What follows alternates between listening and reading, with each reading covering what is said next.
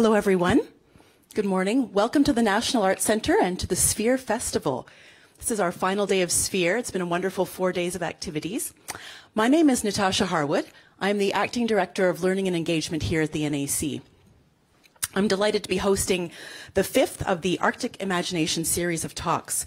Uh, this five-part series has been hosted by the National Arts Centre and the Royal Danish Library, and it's been focusing on the intersection of art and science as we consider climate change, and particularly the implications for a warming Arctic. Today's guests both have a passion for learning and have found inspiration for their work in some of the world's coldest and most inhospitable places, most notably Greenland um, and parts of Nunavut and other parts of the Canadian Arctic. Dr. Dorthe Dahl Jensen is the Villum Investigator of the Physics of Ice, Climate, and Earth at the Niels Bohr Institute at the University of Copenhagen in Denmark. And she's also the Canada Excellence Research Chair at the Centre for Earth Observation Science at the University of Manitoba in Winnipeg. She is a legend in glaciology and scientific expeditions on the Greenland ice sheet um, and has tried to answer one of the most important questions of our time. How fast does the ice melt?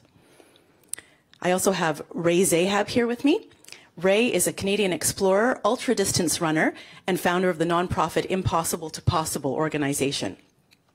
Ray is an explorer in residence at the Royal Canadian Geographical Society and a fellow of the Royal Geographical Society. He has run more than 17,000 kilometers across the world's deserts and undertaken unsupported expeditions in some of the coldest places in, on the planet. Welcome to uh, Dorthe and Ray. So I think uh, I'll start with Dorthe. First question. So Dorthe, you're currently uh, at the University of Manitoba in Winnipeg. And can you tell us a bit about your research here in Canada? Well, I'll be pleased. And first of all, thank you very much for inviting me. I'm, I'm very honored to be here, and I'm totally awed by Ray and his great initiatives uh, doing research for all kind of learning kids how to, to see climate change around the world. I've been at the University of Manitoba for three years now, and uh, my research is focused on understanding how the ice is melting and what happens when the fresh water comes out into the ocean, especially the Baffin Bay between uh, Greenland and Canada, and how it impacts uh, the life of the people, how the fishery changes, and uh, how the life changes as the climate and temperature increases. So it's been totally cool, but also very difficult, starting with two years of COVID, where it hasn't been possible really to visit the communities and be there. So I'm full of energy to get more done in the coming years. And what is your ongoing interest in ice? You've been a glaciologist for, for many years. How does ice continue to inspire your career? Well, the, the main thing I've been doing is uh, drilling ice cores, um, especially on the top of the Greenland ice sheet. Uh, the Greenland ice sheet is, is about 3,000 meters thick. And of course, as we drill down through the ice, we get into layers of snow that gets older and older, and we go back in time. So we look at the climate going back in time, and we can see that we've had 11,700 years of, of warm climate. And if we go further down and back in time, we get into ice from the glacial period, where we can see how cold it's been over Greenland, and we can see how unstable the climate was at that period. But if we go even deeper back in time and deeper down into the ice, we get down in ice from the, the last interglacial called the Eemian, which was an interglacial period where it was uh, five degrees warmer in the Arctic than the present. And this is a, a, very interesting climate period to look at because you can see what happens when it warms for a long period and, and how much does the ice actually melt when you go into a previous warm period. This is something that can give us the experience we need right now to understand what's going to happen in our future. So I think that's, that's something I find is really, really interesting. Yes, definitely. Ice has so much to tell us, and we don't think about that normally. Uh, Ray, uh, I'd like to ask you, what does it mean to be an explorer in 2022? Well, that's a really great question. But again, I want to thank you for inviting me today. And I've been speaking with Dorthe backstage, research some of the stuff she's doing. It's amazing, especially the bubbles. Learning about the bubbles back that have been frozen in ice. I've learned so much about ice in 30 minutes. Speaking with with Dorthe backstage has been amazing. Exploring, exploring, and exploration in this time has been super interesting. Um, people ask me what it is that I do. I cross landscapes, remote landscapes, geographies all over the planet, whether they're the hottest places on Earth or the coldest places on Earth. I typically do ex expeditions in the Arctic in the middle of winter. I love being in the Arctic in winter when the sky is just barely lit and there's this purplish hue and it's incredibly cold, although I don't deal as well with the cold as I do the heat. And I love being in the deserts in summer to experience how hot the planet can be, how species can survive in such seemingly inhospitable places, almost unlivable places, but they do and they thrive. And so for me, it's not a matter anymore, maybe at one time it was, of crossing from A to B, 7,000 kilometers across the Sahara, but it has become so much more. Over the last years, it's become about connecting, using the technology that we have now, connecting students in classrooms all over the world who are following my expeditions, whether through social media or through the internet. I'm there.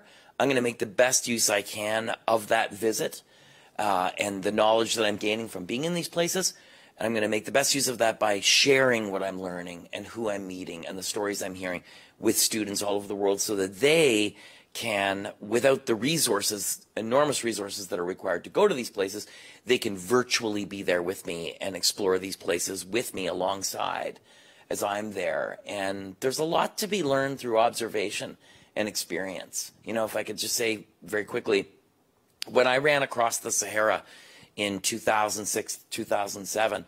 We ran clear across Senegal, Mauritania, Mali, Niger, Libya, and Egypt. And in traversing all of these countries, I learned about economics, agriculture, society, religion, climate change from the people who were there.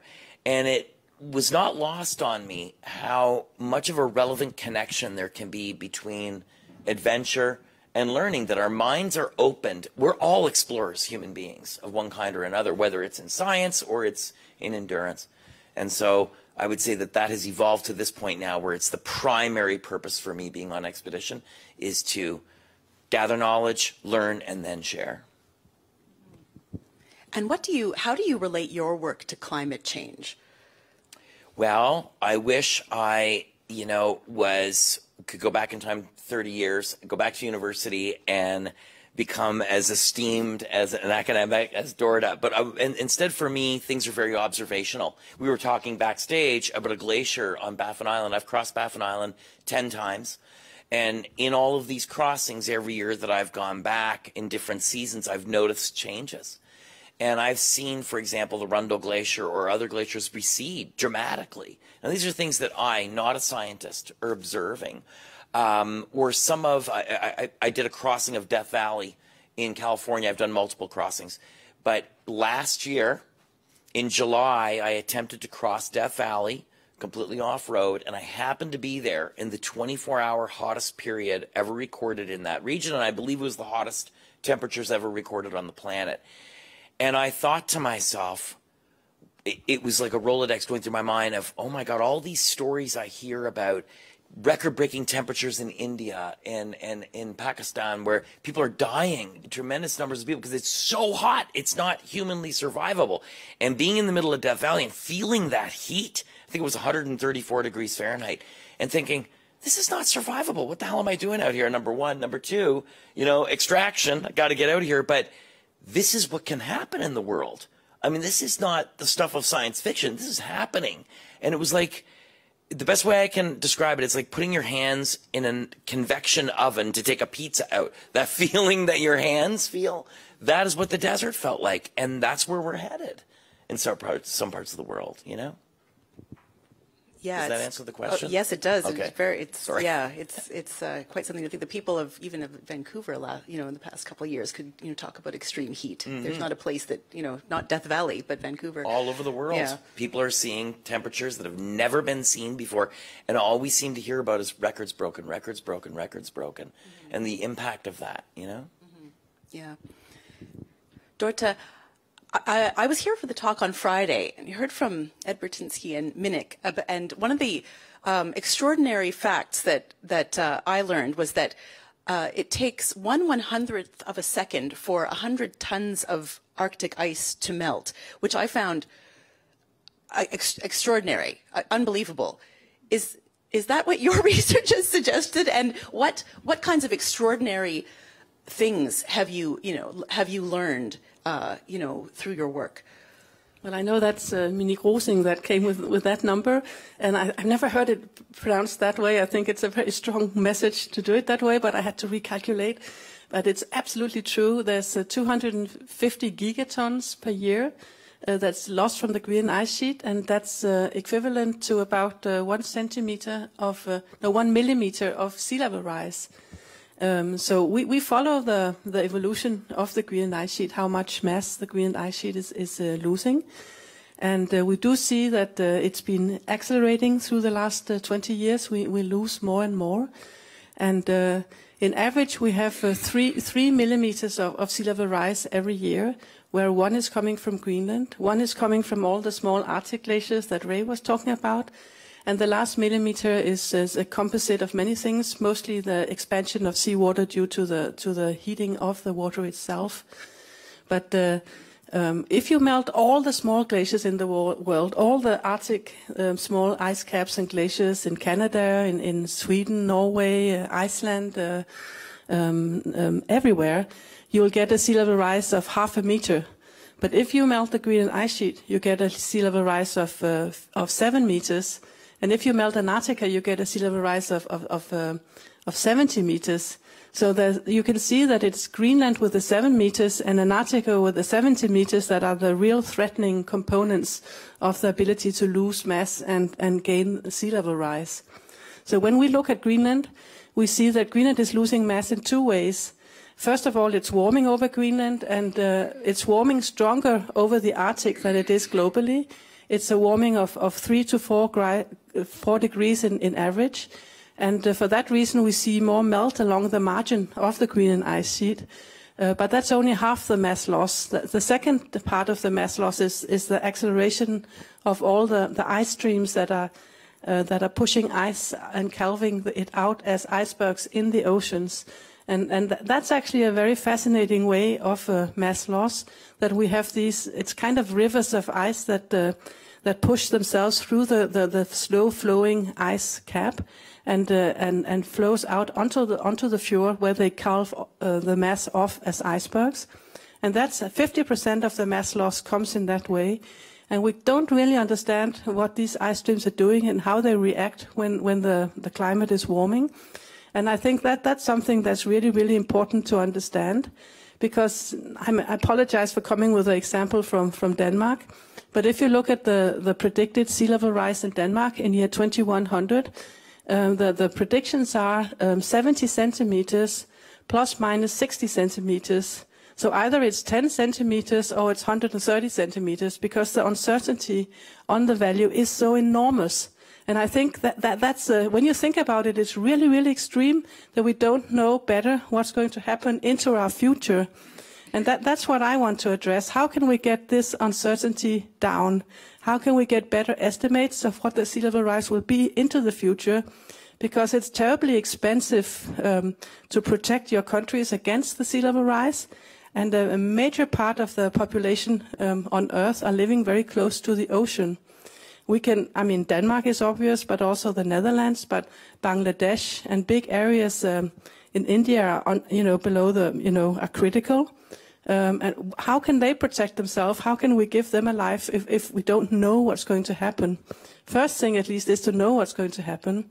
So that's why I want to work. I want to work a lot with the ice streams and understand how how how they're moving and and how what influence them, how they will accelerate when we go into a warming climate. I think that's really important. That was a long rant. Sorry for that. Yes, very interesting. Um, I'd like to ask you both about your experience with Arctic communities in Canada. Ray, perhaps you can Arctic, start. In in what context? Uh, so what you know what I guess um, the people of the Arctic are um, really at the at the, the the front end of you know what all this that that Dorthe is talking about and the idea of climate change and global warming. And so you know some ways here in Ottawa we've been sort of blissfully insulated from a lot from the you know the coastal effects the Arctic effects um, and some of the extreme temperatures too um, what has your experience been with with people and communities uh, in the north, and you know, uh, as you know, as we grapple with with these changes, and you know, and the need to understand climate change and the need to act on it? Well, it's, uh, you know, again, approaching things from a very non scientific perspective, you know, just through friendships that I've made over the years and observationally being on the land uh, with many folks in the communities, uh, friends of mine. Um, you know, there's there's obviously these conversations of change. I mean, things have changed. If we go looking, for example, there's a friend of mine in Qikiqtarjuaq. We'll go looking for polar bears, you know, and we're looking in different areas, or you know, maybe they're in different areas, you know, than they were before. Um, you know, it's it's my experience has always been when traveling in the communities that uh, people are very resilient, right? And so they have adapted, obviously, to this dramatic change in the Arctic. But I think, you know, following it from more of a scientific perspective um, is probably less anecdotal than it is with my relationships. I mean, we're always there and we're doing things and we're learning and I'm learning as we go. And things definitely have changed, as, as we've said, over the years. Um, but uh, it, I would say that that's been my experience in the communities is very much um, the places we go or uh, the times of year that we're able to do things have changed you know and it just comes up in conversation about wildlife is not here when it was there and these sorts of things you know Right. so seeing those changes yeah, in day-to-day and, life. And, and being there with my friends and seeing these things and learning about these things from them where there could be a conversation of, well, you know what, 10 years ago it was like this or that, you know, and it's dramatically different than the way things were in a very short period of time. I think that that's the thing that, that it, observationally, it seems like things are accelerating. Yeah. That's how it feels when I'm in the north.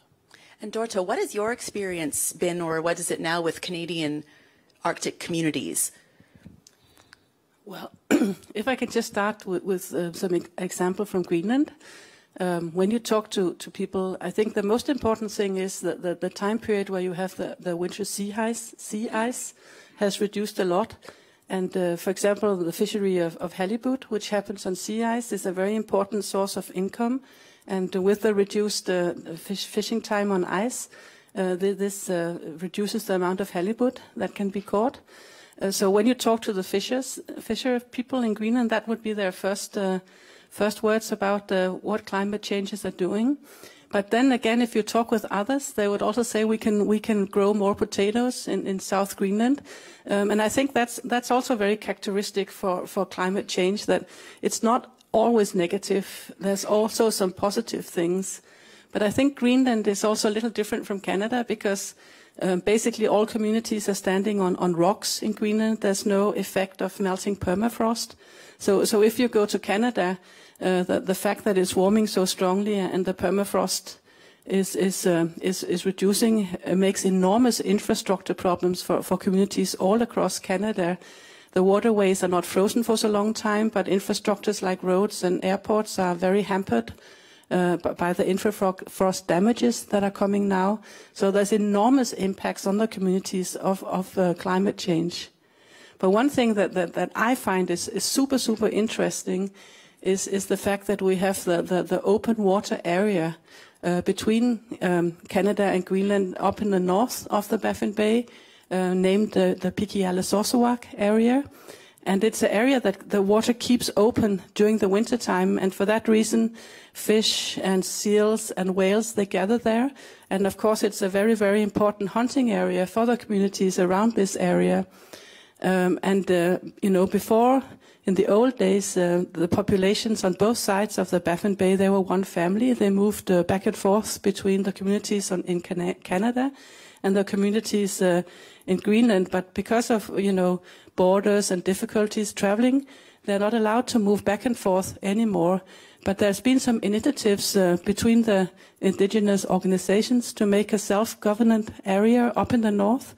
And I find that's, that's the way we should go. I think that's super, super important.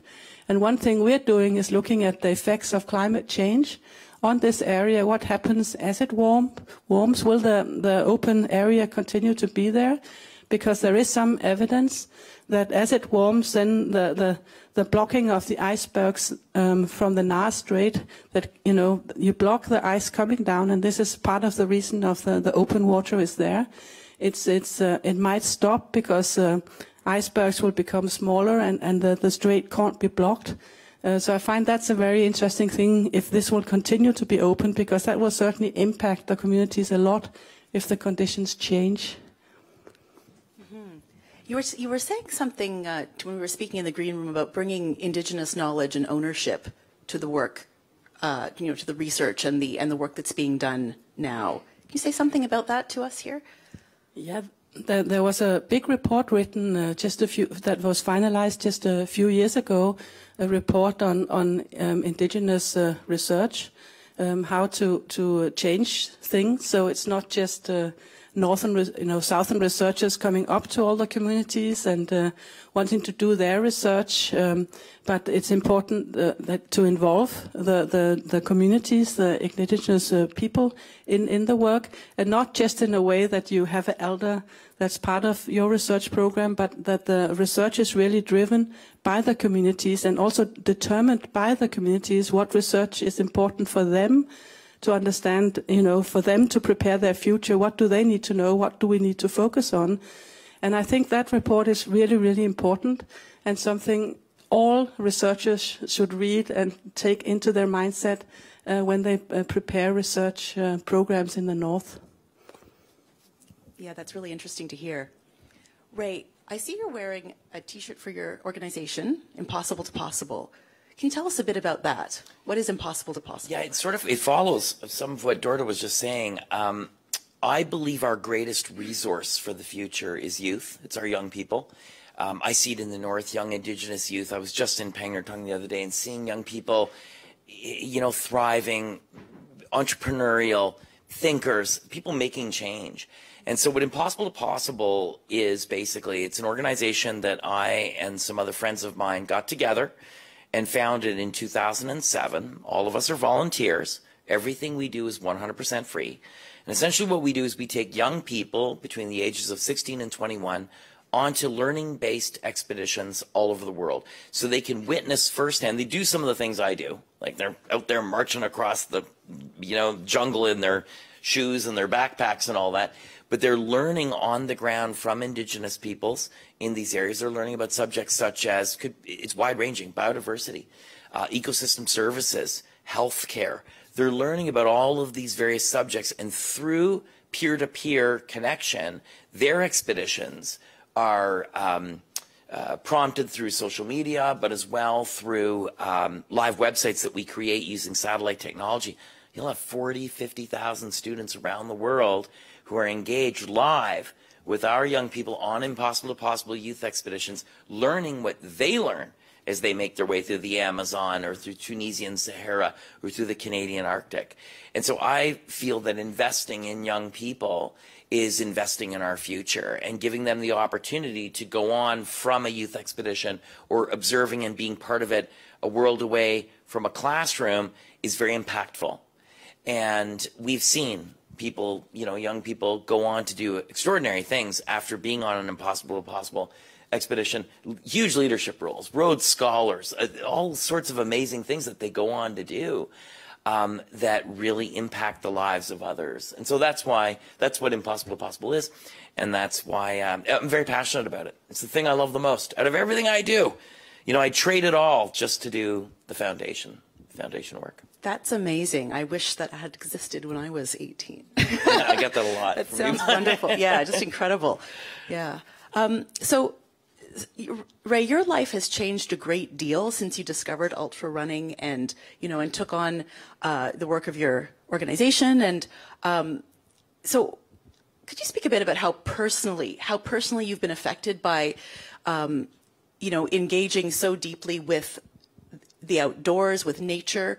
with the world and um, yeah, and what that's meant for you as a person and how you know how you've you've changed and and, and you know, where you are versus where you were before you saw you, you had seen so much and learned so yeah, much. That's a really great question. I mean, and I'll try to I tell really long stories, so I'll try to keep this concise as I possibly can. But you know, life is a series of transitional moments. You know, and I'm in my mid 50s now. Uh, when I started doing all this, I was 30 years of age. Prior to that, I was smoking a pack of cigarettes a day, very unhealthy guy. Didn't really care too much about anything until I discovered the outdoors. I was introduced to it. And through adventure and through visiting so many different places that we don't even really think about, you know, that we don't really, they're not really in our mind's eye necessarily. But by visiting these places and learning from others, what I realized and learn now at this point in my career is there's a massive interconnectivity, interconnectivity between all of us on this planet. Like we're all connected. And the trip on the planet, if we're lucky that we get, is about 75 years, 77 years, in some countries much less than that on average. So in that time that we have to spend on this planet, learning as much as we can about the world around us and the people that occupy this planet, I think is, um, I know for me, has become a life's purpose. But I think in a lot of ways, for all of us, there's so much that we can learn that's experiential through visiting and traveling and even in our own backyard. I live in Gatineau Park. I learn something every. I've lived in Gatineau Park for 20 years. Every day I learn something new when I'm out there. So I think by immersing ourselves in the outdoors, become we become more connected to that grand interconnectivity. If that's not getting too out there, and I think that it's um, it, it's on all of us to to be out there as much as we possibly can, to learn as much as we possibly can. Yeah, it's very inspiring. Now, Dorthe, you're a scientist. Your work is very dispassionate. You're working with facts and figures, but what has it meant to you personally? How have you been affected by your, you know, the work you've done over decades? When I, I started as, as a climate student really far back in time, and I did it because I loved climbing mountains and jumping around on, on glaciers. So I thought, you know, work, finding a career where you worked outside would be fantastic and uh, I've I've loved it ever ever seen since then. The, the ability to to um, participate and form fieldwork and, and, do it and come back and work the results, work with the data and produce results and publish them in journals um, with some knowledge that's really important for everyone.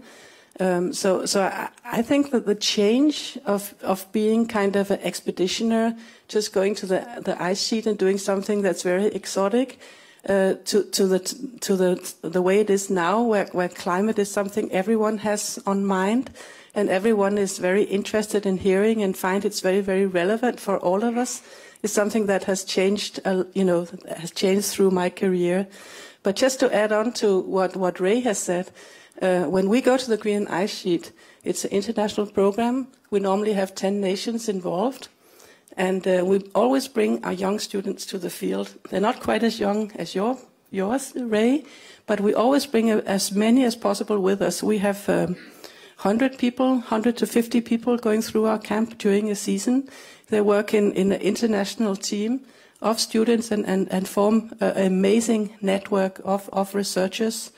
And uh, I think what we do is also contributing a lot uh, putting out climate ambassadors into the world, young students, young researchers that are very engaged and uh, excited about communicating climate and the importance of it to the rest of the world.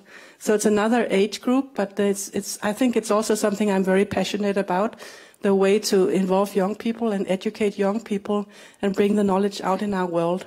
Because I use a lot of time trying to communicate climate. I go to many meetings. I've talked to, to many um, leaders of nations and whatever organizations there is. And you can continue to repeat how important it is to do things to, to, to, to change our climate, to reduce the emissions of, of greenhouse gases. And you can keep saying it and saying it and saying it. And it's like you, you never reach through to all people. You can just continue saying it. And I think uh, it's so important that we get to a point where we take some more serious actions and in this, in, in, for, for, greenhouse gas and, re, and, in reducing the, the warming we have in our future, we really have the whole world to, to, to, to move.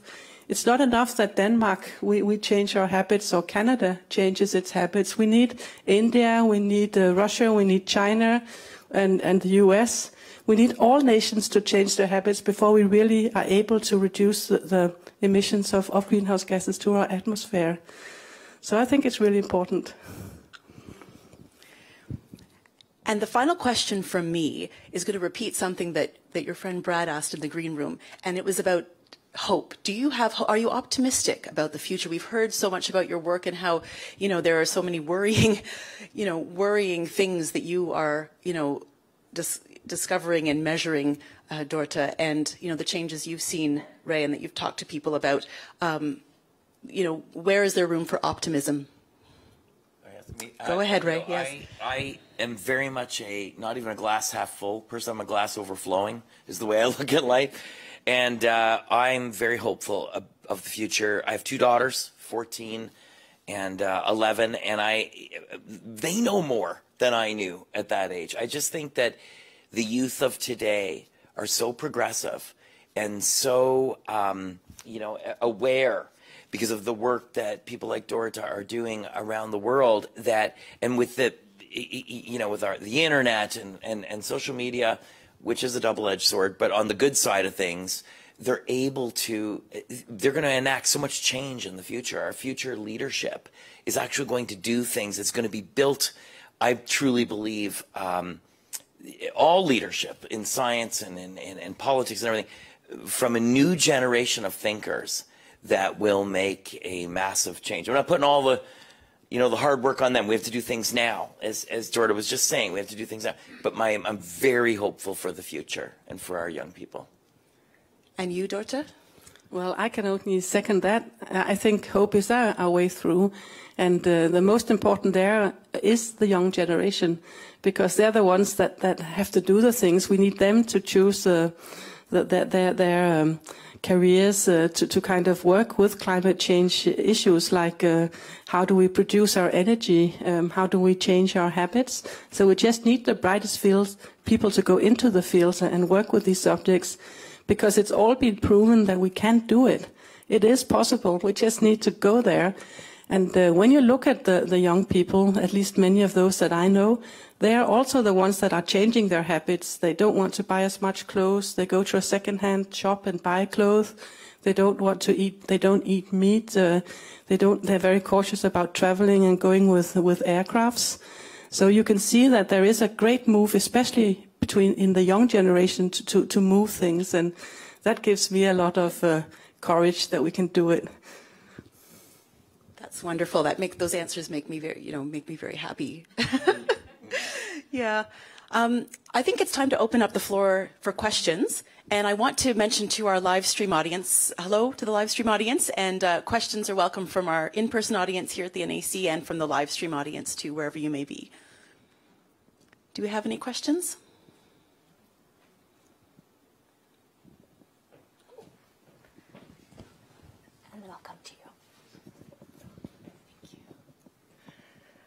Oh, thank you both so much for your conversation together this morning and uh, such a, a, a, wonderful way to start out Family Day here at the Sphere Festival, the final day of the festival.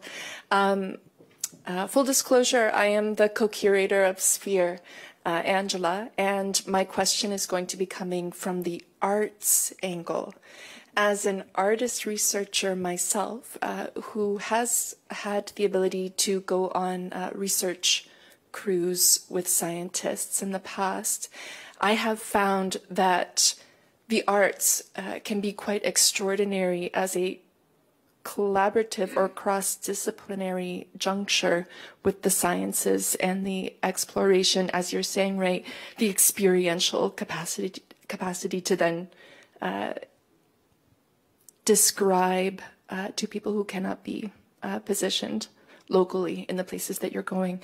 I'm curious to know through your field research as well as uh, your foundation and bringing youth along, have you had uh, young arts positive folks coming? Are you actively encouraging people who might not be sciences specific to join expedition? Perhaps I can start. Yes. Um, it, it is a tradition within uh, both Arctic and Antarctic expeditions on the ice to, to bring uh, art people along. Uh, we've had uh, book writers along, and uh, in Antarctica we've had artists, uh, you know, making pictures. but but we've also, I think, the, the greatest event we've we've tried to to make happen in our camp was we invited Terje Isungset, who, makes music on ice, ice instruments, uh, to come to our camp, and we we made a, a, kind of a snow cave for him, And uh, we made, I mean, he got some of our ice cores to make instruments from, but he also brought some, some lake ice along from Sweden. And he uh, gave a concert down in our, in our, in, in our camp. And we had uh, three uh, TV crews there, two from Norway and, uh, and weather station um, from the US. And the idea was to, to, to make the, you know, the, the, the music, but also to have communication uh, between uh, the musicians and the scientists in camp um, about, uh, you know, climate change and, and what's going on.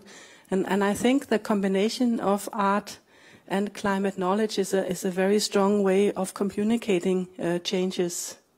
So I think that there's a lot of ways to go. And I think in general to take kind of admirable people and, and bring them into the climate game to communicate them is, is really important. It can be sports heroes uh, are very important, but also a person like Ray here, I think, is, is a very strong way of communicating claim, climate by being doing so extreme things that fascinates uh, everyone. So the way of trying to communicate, besides from just giving a lecture about climate change, I think is uh, super important. That's that is super cool. I that the ice musician, that's amazing. Okay, we've never done anything that cool, but we we do. Uh, with Impossible to Possible, we've done 15 youth-based expeditions. I've done somewhere in the region of 30 or so expeditions. It's a personal philosophy of mine or belief that art, the arts is the greatest expression of what it means to be human. And so you look at anything, I've been in the Great Pyramids, I've been uh, through the Atacama Desert and seen uh, petroglyphs. It, it, these things stand the test of time. We were talking backstage about these, the, the cave drawings in France that, uh, uh you know, your teammate was telling us about. And, so we try to make that connection, especially on the youth expeditions, whether it's through indigenous artists or whether it's through them creatively sharing their own stories. So, for example, we'll bring a team of videographers, photographers, etc., who are artists in their own right, and they show our youth ambassadors this is how you take a photograph here's the skills on how you shoot a video here's what editing software is now make the story from your perspective of what you're experiencing we'll edit it uh, you know we'll put the final edit up on the internet so that students your own age can digest right and so that's sort of the way we've been going about it. is there a video of the ice instrument? God, I'd love to see that. Yeah, that's is. amazing. It is cool. Yeah, check that yeah. out. I'll send you a link. Yeah, yeah, do it, please. But I think there's also a reason that uh, you know science and climate research is it's always called the, the faculty of art and science. Um, that there's there's is a, a great overlap in, in the way we see things. Uh, but just to mention a few more examples from our field, ice crystals, snow crystals, snowflakes are the most amazing things ever seen. Uh, you know, the beautiful, you know, symmetric uh, snowflakes, uh, the ice crystals that have different colors if you look at them in polarized um, light.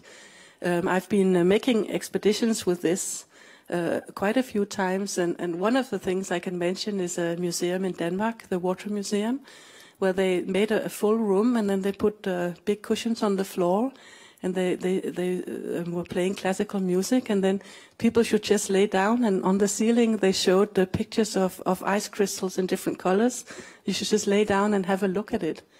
I mean, there's many ways of expressing these things that that I think are very powerful. Cool. Thank you for that question, Angela.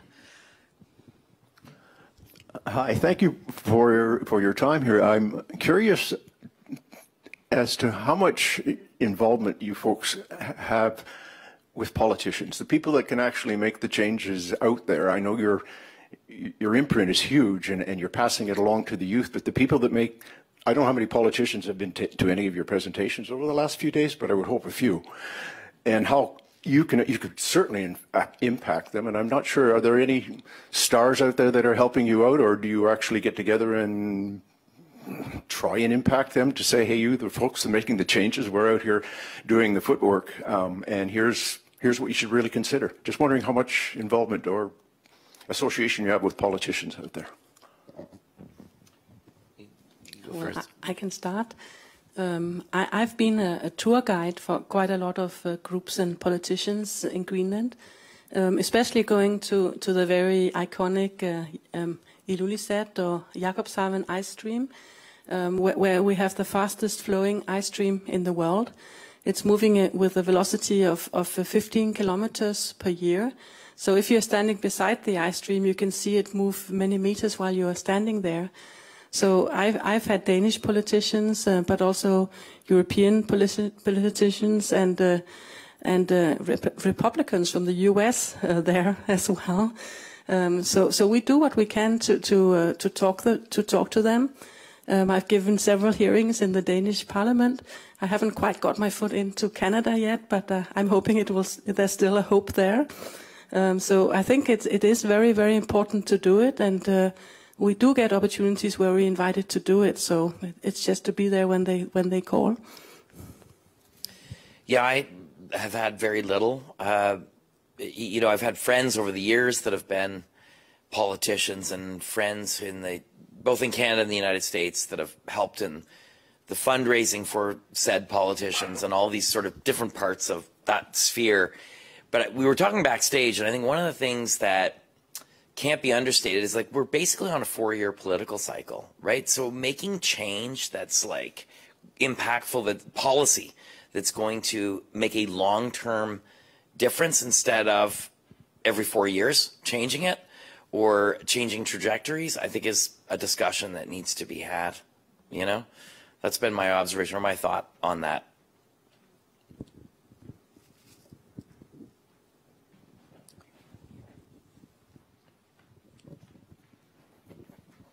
Thanks a lot to both of you. I'd like to uh, to talk about partnerships and what would be the potential actually to move the needle a, a little faster and a little more efficient. You both come from Arctic uh, Arctic nations. Dorthe, you said you were connected to a university in in in, uh, in, Manitoba here in in Canada. Could you maybe from there talk about the partnership with Canada and how you involve the Indigenous peoples in in, in Canada in in your work uh, based on on for example the the report that you were mentioning earlier. I've been visiting a, one of the flying communities. Uh, Bunibonibee Cree Nation in Manitoba, and they're so dependent on the winter road, and the season is getting shorter. So for such an a local community, it means a lot uh, what your research uh, can bring. So what would be the potential partnerships, both between the two of you, but maybe also between, you know, Greenland, Denmark, Faroe Islands, and, and, and Canada, to, to move the needle in, in both the ways that, that you're doing it so efficiently? Thank you. Well, uh, the, the, the, first partnership I think I'm trying to form um, is be just between the Canadian universities because it seems to me within uh, glaciology at least and, and climate change, um, there are kind of, you know, very, very small research groups placed at very many universities uh, that don't, don't uh, have, have big united programs. So, so the, the program I'm trying to form on, on, on drilling an ice cap on Axel Heiberg's land, Müller's ice cap up to the north, will be jointly between the universities in Canada. So I think that's a, way to try to unite across the nation, trying to get the groups together. Uh, but for the involvement of uh, the communities, uh, I'm, I'm, hoping to have my first visit up there in a few months because it hasn't been possible due to COVID, even in the spring. Um, and I think uh, for partnerships with the communities, uh, you just have to go and visit the communities and, and be there and talk to them. Uh, so that will be my, my first visit to the, ca the Canadian communities um, I've been a lot more around in Greenland and talked with a lot of people there. Uh, but I, I, would, you know, I find it's really, really important to get involved with the Canadian communities. But I don't think it's through an email. I joined some meetings here in Ottawa, forming the the, the, the, the, the, the science plan, which was very interesting, where I met a lot of people. Uh, but I, I, still feel that I'm just beginning this work. I, I don't feel that I'm I'm, I'm very um, into it yet. So that's something I, I, is very important to me to work on in, in the future. So I apologize for not being able to say more there. yeah, for us, it's it's an interesting thing, and I'm sort of in the same boat uh, uh, as Dorthe, where through partnership, I think we can ignite a passion. I mean, when you when you have people involved in what you're doing and they own a piece of it or their skin in the game, then people get excited. And so partnerships for us have been I'm trying to put the words. I could see it in my head. I'm trying to get the words out the right way. But for example, doing a youth expedition in Utah, a very remote and uh, ecologically sensitive area of Utah, where we took a group of kids. They were studying the rise of the dinosaurs. And so over the course of six, seven days, these kids ran through the desert, 250 some odd kilometers, and visited with scientists from the University of Utah who were on a dig site casting dinosaur bones. Now, normally they wouldn't necessarily be interested in engaging with a youth group and you know but because of that engagement because the we introduced them to what we were doing we were partnered with the BLM the Bureau of Land Management in the United States to make this thing happen which also very rarely happens we brought together this magic if you will hurricane of passion to this project where through those partnerships um, the work of the University of Utah reached thousands and thousands more people than it would have otherwise. And there was a bit of a climate change story within the research that they were doing with dinosaurs. Don't ask me exactly because I'm not the sciencey person, but they were collecting some really extraordinary data that was, uh, and very relevant data that was then shared to a much wider audience. And they became more stoked because everybody was stoked. Additionally to that partnership perspective, whether we're in the north or we are uh, somewhere else in the world. Um, we try to have a combination of youth on our expeditions that are representative of different parts of the world. So these kids get together, meet each other on an adventure, which can be a very stressful situation, but they become partners themselves, microcosms of those partnerships. So you have indigenous youth with kids from California, with kids from South America, and they all have one mission together to accomplish. And so that collaborative effort they take back with them to their, you know, individual communities. Lastly is the corporate piece, the corporate partnerships that we bring on board. We um, are uh, fervent about getting the money for our youth-based projects from corporations. We want them to take ownership of these projects and be passionate about them from, and, and, and, and make it a corporate directive or help to massage the direction of investment that these companies take in their future marketing programs or how they're what they're uh, investing in philanthropically by being involved in what we're doing seeing what's happening and saying wow i mean this is really amazing stuff that's going on here and they're learning and changing and shifting. So corporate partnerships for us as well. I know this doesn't directly answer the question because we're, but we do collaborate with many universities on our expeditions. Uh, we've worked with Simon Fraser. We've worked with others, all, you know, University of Utah, for example, as I mentioned. Uh, but as well, those other partnerships, whether they're um, we're investing in indigenous communities and the indigenous peoples are involved in our expeditions as experts in the field or whether it's um, with corporate partners or whoever. There's all of these collaborations that are happening together, and the more excited people get and passionate they get on an individual project, the more um, it becomes sort of a, a clearer message to everyone who's following along and more widely reached. Does that sort of answer the question? Well, Ray, I'm going to form a partnership with you. Let's do it. After We're this doing event. It. Yeah. you you have to tell them the, um, if I can, am I allowed to say so? Sure. You, you have to tell them the story of the bubbles that you told us backstage, the bubbles in the ice, and what's in those bubbles. The, you know, all the, yeah, can she? Oh yes, of course. Sorry to take over, but it's just for, so. ask for permission, right?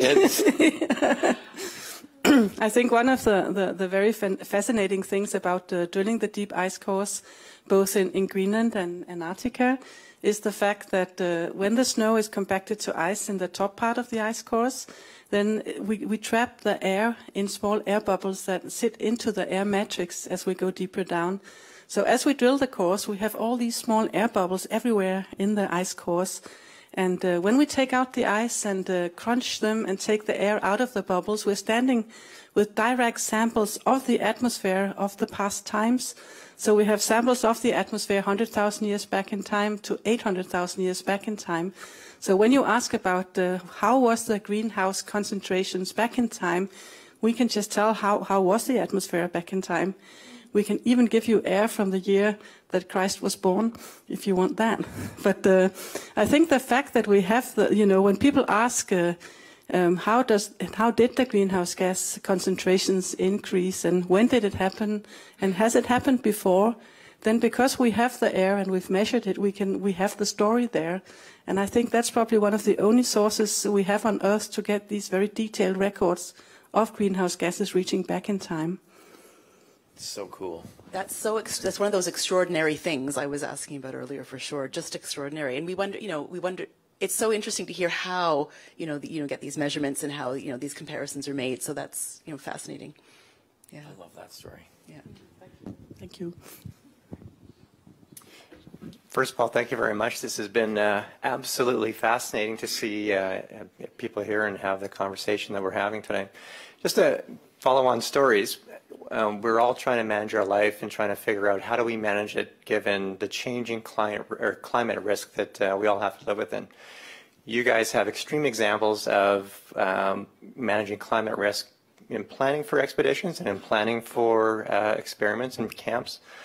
Um, how has your climate risk planning um, changed over time? Is there any stories that you would like to share in terms of when climate has participated and done what you thought it might do, and when it hasn't participated and you were surprised by something that you found? Well, uh, you know, I, I, that's a great question, of course, but I can remember one. It, it's less of a climate change, but it's an event to show how, you know, sort of superficial, how how how unstrong. I can't think of the word. How how we are so um, can be impacted directly and hugely in a huge way by cataclysmic events. We were conducting a youth expedition. We were supposed to be going to Tunisia, leaving on a certain date in 2010, and that's when the Iceland volcano went off. And I'll never forget. You know, luckily we had this amazing person who was working for us to organize all of our travel. So we were able to still travel through Morocco and we made it. But going through Montreal airport and seeing how shut down the world became, and it was a lesson to our youth ambassadors and to our entire crew. We were going to Tunisia to study water and the importance of clean drinking water to the people of North Africa. That was the goal of that expedition. But how secondarily the youth expedition became so much about how impacted we can be as human beings, how fragile the entire infrastructure of the world is. Like we think we're so, we got it all figured out, everything's fine. Nothing's fine. Nothing's fine. The house is on fire, you know, and we learned there that day how the whole world can shut down. You know, things can be impacted so uh, in such a huge way. Yeah. Yeah, that's that's a day I think we all remember. Actually, it was our silver wedding, and we were the, the Icelandic experts in volcanoes uh, as part of it. So she was so busy trying to, to tell everyone what's happening. But we also had the enormous pleasure of having our guests there for 14 days. but I, I, like to measure another example because, uh, I mean, we are always, you know, we are scientists, so we're always very stringent that you have to distinguish between extreme events and, and climate change uh, where extreme events is, is, something that can happen kind of out of order. It's extreme year. Uh, but uh, of course, there is a relation between the frequency of, of extreme events and climate change. Like the, the you know, you have the warm, the, the warm events like the British Columbia warmth, you know, very warm weather last summer. Uh, it becomes more frequent. You have uh, storms, you have floodings more frequent when, when the climate changes. But one, if I should mention one event that stands out for me, it's being on the green ice sheet in year 2012, uh, because there was an event that suddenly you had rain on the full Greenland ice sheet. And uh, we are very spoiled because we are working on the top of the Greenland ice sheet and it's always nice and cold, it's always snowing. And then suddenly we had rain. We had a rainbow. We've never seen that. We see the, the, the, the halo very often, but never the, the rainbow and uh, the rain came and it, it, in the center of the green ice sheet it doesn't run off. It seeps down into the snow forming big uh, um, structures uh, and we could follow it. It went down to two meters depth before it uh, refroze again. But that was very very iconic. I think it hasn't happened since and it, it hasn't happened before in, in the time we know about so the fact that it can suddenly rain on the middle of the ice sheet, for me, stands as a, as a kind of a sign of a big change.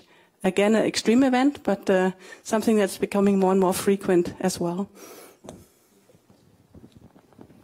I do have an online question for Dorthe. With the melting of permafrost, what is the level of risk regarding the releases of greenhouse gases from around uh, from the ground, accelerating the global warming? Well, thank you for that question. It's actually a really good question. Uh, because we see a, a big release of, of methane um, with, the re with the melting of the permafrost.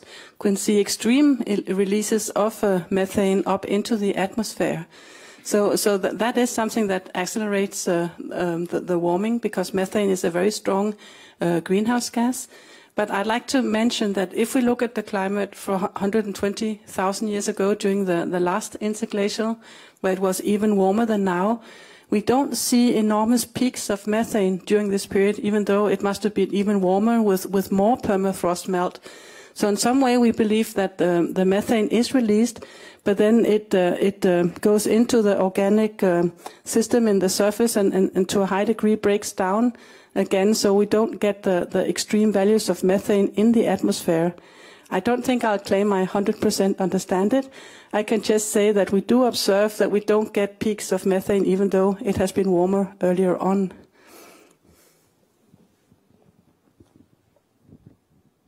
Any other questions? Online? I actually, I actually have my own question. Whoa. Um, this is for Ray. Ray, I was reading on the website that you are the explorer in residence of the Royal Canadian Geographical Society. Um, I think the term explorer in residence makes me chuckle a little bit because it's like, he's not here, he's exploring. Um, but I was wondering, um, I guess it's a two-parter. What and and Dorthe, this, this is a question for you too. But what is the, your favorite spot that you've ever visited? And my second part is is which extreme uh, do you prefer? Do you find more tolerable the extreme convection oven hot or the very very cold? Well, my favorite place for sure is Nunavut. Anywhere in the Canadian Arctic. I mean, best specifically Baffin Island. I mean, I just it's every time I go, I, I, just think to myself, my God, this place is just extraordinary. It's just, it's amazing. If, if ever you, you know, trip of a lifetime, go to Baffin Island. That's you know. Um, as far as you know, the extremes. Although I am Canadian, I love to ski. I love winter. I love being in the Arctic in winter. I love everything about the Arctic in winter. The one thing I'm not fussy about is the cold. I have a hard time dealing with the cold. I prefer heat. I just feel like my body's more, it, it loves heat. It can deal with extreme heat much easier. Um, but, um, you know, being an explorer in residence with the Royal Canadian Geographic Society, although I guess, yeah, the term, and now that you've mentioned it, um, it's enabled me to reach even more students in classrooms, right? Because they have a massive reach into Canadian geography classrooms. We've worked with Impossible to Possible, we've worked with Apple Education, um, from Cupertino and now in Canada as well with Apple Education. And so we're reaching a lot of those schools, but as well, just schools in general. But that Canadian Geographic and um, RCGS school network has just been, it's been extraordinary collaborating with them on so many projects as well. Well, I can, I can second that. I, I think the being in the Arctic Baffin Bay is a good example. You know, the, the view you can see 100 kilometers away. You have the super blue ocean, the beautiful icebergs in the ocean, the, the land and the mountains. Nothing beats that. It's, it's just amazing.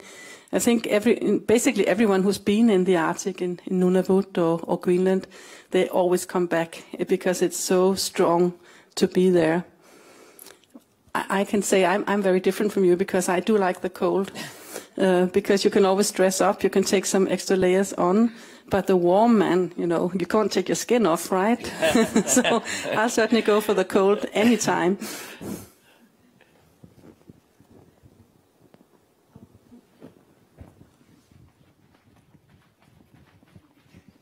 I know.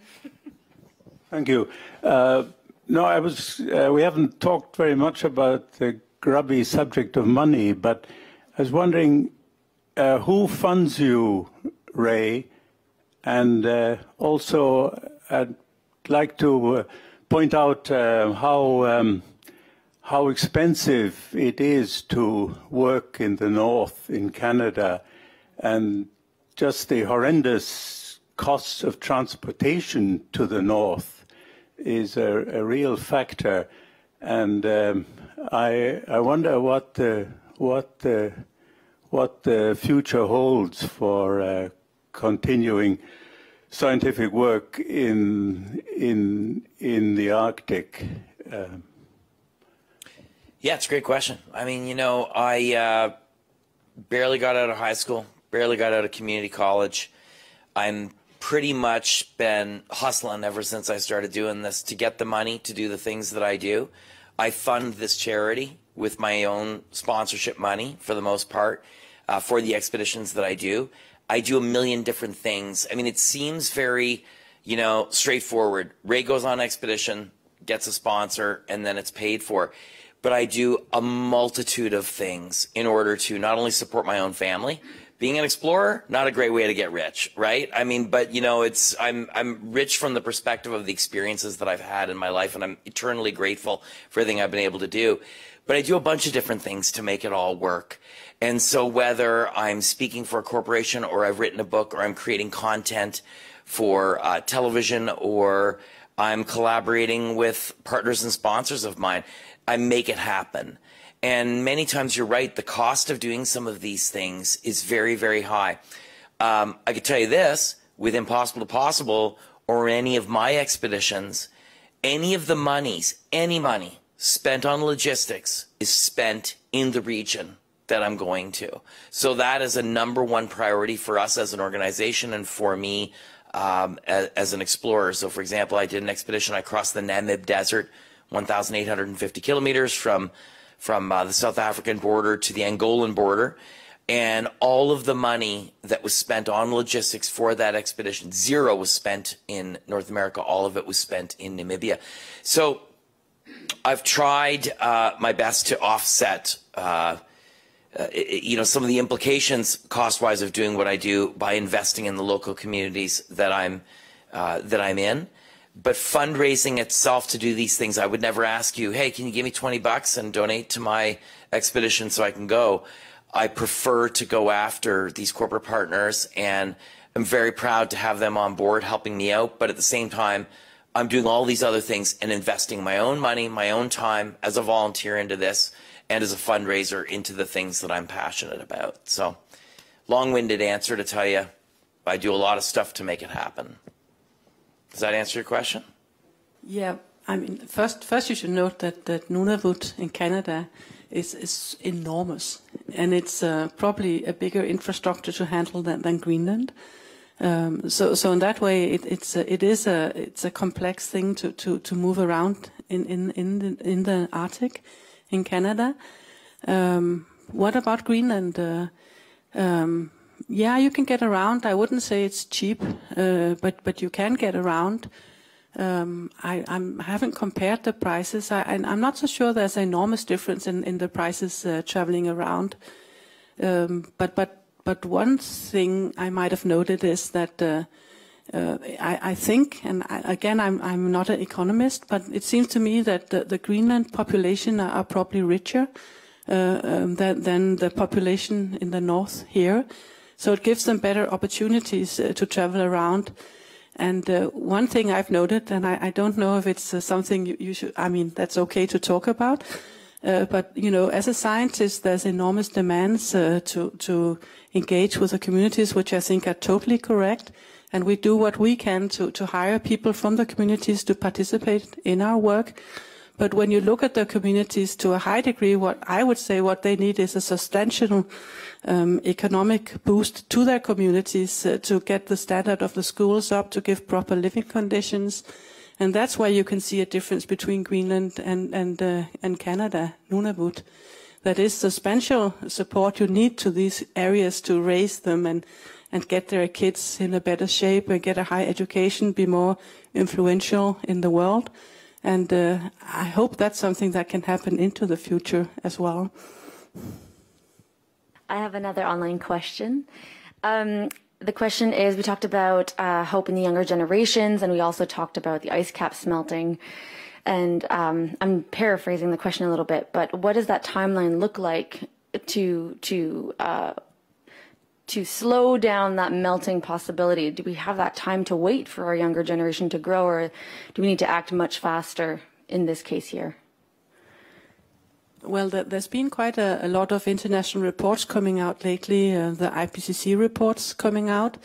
And uh, um, some years ago, we had the, the, report, especially on the 1.5 uh, warming and, and, the actions we need to do to reduce the, the global temperature to below 1.5 degrees. And uh, that was very, very dramatic that we had to increase the, the greenhouse gas concentrations and uh, even get them into negative if we really wanted to keep 1.5. Uh, but then here last year, the new IPCC R6, as it was called, report came out. And the message there was um, we, we can't stay below two degrees if we don't react within the next 20 years. Uh, so I think that that's probably the most um, consensus uh, uh, message that has come out internationally. I also think by young generation, I mean, we're not talking about, you know, 10 year olds here necessarily, right? We're talking about people that are in completing their PhDs right now, right? Like they're, they're ready to roll. There's no doubt. Like it's just, it's a different, it was so interesting. You'd mentioned this before, Eduardo, like buying habits of a 20 something have completely changed to when, like in the 80s when I was in my 20 somethings or whatever, right? I mean, it was crazy. We'd buy anything for anything, whatever we wanted, consume, consume, consume. And now even that buying behaviors have shifted completely. So the way that a generation 30 and under are thinking, uh, I'm not general, generalizing, I'm just throwing that number out there, but it's changed. It's changed, and I think it's changed for the good in en masse. Well, I think we need a lot of people that push um, that that push our governments uh, towards uh, acting in the right way. I think we have enough educated people, enough of companies to go the right ways. I think uh, uh, the, the, most important step would be some some guidelines from our governance. Uh, that the governments put out some guidelines. We want to go this way. Uh, like Europe and Germany has gone out and said we, we will not accept uh, diesel cars in our towns after this and this year, which means there's been an enormous move uh, towards electrical cars. And companies, uh, they, they, they, have a hard time changing their energy um, structure if they don't have guidelines from the government, so they know they're going the right way. So I think if we have to make sus suspensions uh, moves, we have to have people. And uh, in this case, um, the, the, young people will be an important group that pushes and says, we want it this way, we're going to vote this way. And then we need the government to put out the guidelines and the directions so we can make some significant uh, changes. Yeah, it's amazing because, you know, when you see any of the great social movements and shifts of even the last five years have become, have come because of the young people, right? Everything that's been happening, um, you know, uh, that we've seen huge events have been perpetuated and started by young people who said enough, you know, and we're on a slippery slope in many countries to autocracy.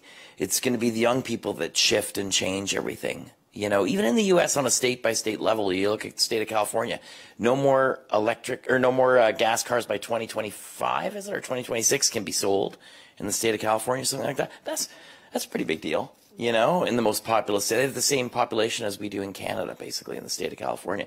So, um, it's young thinking and and uh, you know young minds that are making these things happen. You know. Well, I think uh, we can probably still do a contribution. You know, at least we're trying. Yes, yeah. absolutely. so I don't. It, it's not only the young. I think everyone yeah, should do their best. Uh, I think that's quite important. Thank you very much, everyone. Thank you. Thank you.